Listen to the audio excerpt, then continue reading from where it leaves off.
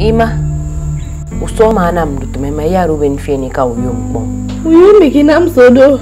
Which village did you pick or fetch that animal from? It was your idea to get a house help. But I didn't ask for some unrefined village brats. Made in Akwa Ibom showroom. It's the first ever shop that sells 100% made in Akwa Ibom product.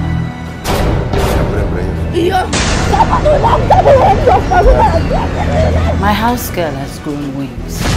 Una una mi. Fuck me na mayin mi. Ya. Una get begin work for here when boys dey una never settle boys.